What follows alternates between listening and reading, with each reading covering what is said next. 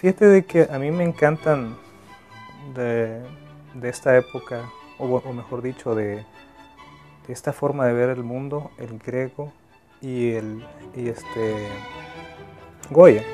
Y me encantan por los, la forma tan intensa de las pinturas, porque cuando yo las veo a, mí me vibra, me vibra algo, porque siento, siento esa, esa energía de la mirada, de los cuadros, o a veces esa tranquilidad que reflejan, que es una tranquilidad taimada, porque no sabemos en realidad qué contienen.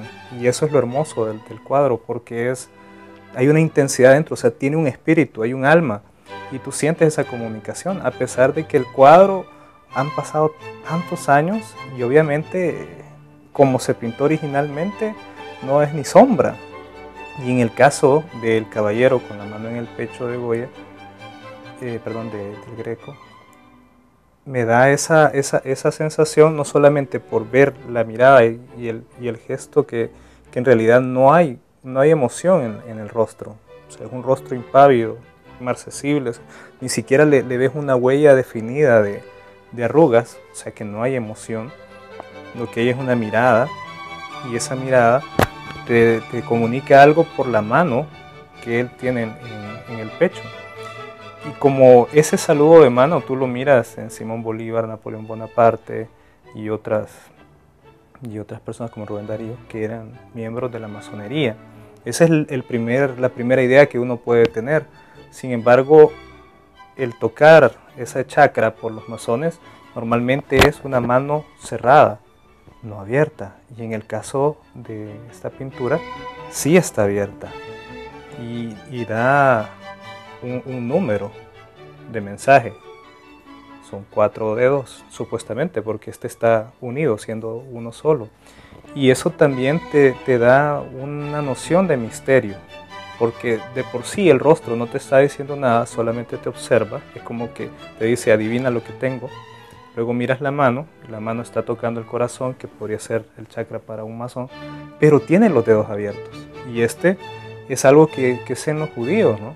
Los judíos te, te bendicen con las manos así y evocan un número, porque los números tienen, tienen significados, tienen fuerzas. Entonces tú ves eso en él y entonces te pones a, a hacer todo, toda una novela negra de, la obra, porque tú consideras, ¿será de que este tipo era esto o era lo otro? ¿O estaba metido tal vez en algo parecido a la teosofía? No sabes, ¿no? Y como la época te da para todas esas cosas, sobre todo porque venía de un tiempo oscuro en el que el conocimiento, bueno, que incluso la ciencia era considerada algo de brujería, y luego pues viene el momento en que se empiezan a abrir las cosas, a renacer el el pensamiento, entonces te da ese parámetro de, misterio y te hace sentir más atención hacia el cuadro. Para mí el, cuadro es muy intenso, es muy, es muy fuerte porque el silencio por lo general te dice más que, una palabra. El silencio puede estar evocado todo, la historia, la vida, con solo el silencio. Entonces el cuadro te observa y luego te deja ver la mano. Y luego está un elemento exterior a él, que es una espada. Pero no te deja ver la espada completa, sino que solamente el agarradero. Entonces te quedas, bueno, la espada obviamente está viendo hacia abajo, por lo tanto si está viendo hacia abajo no hay una señal de violencia, pero sí te muestra que también hay una, una hoja hacia abajo. Entonces hay dos señales de misterio. Es posible de que él haya querido hacer algo parecido a lo que se hace en los cuentos, que es llegar a un final que supuestamente te desenreda un nudo, pero en realidad te deja una duda. Y esa duda, por lo general, es más fuerte que cualquier certeza. De por sí la duda te hace que vos llegues a tener una fe. Si vos dudas, después buscas la información para querer saber algo. Es lo mismo que sucede con el cuadro del Greco.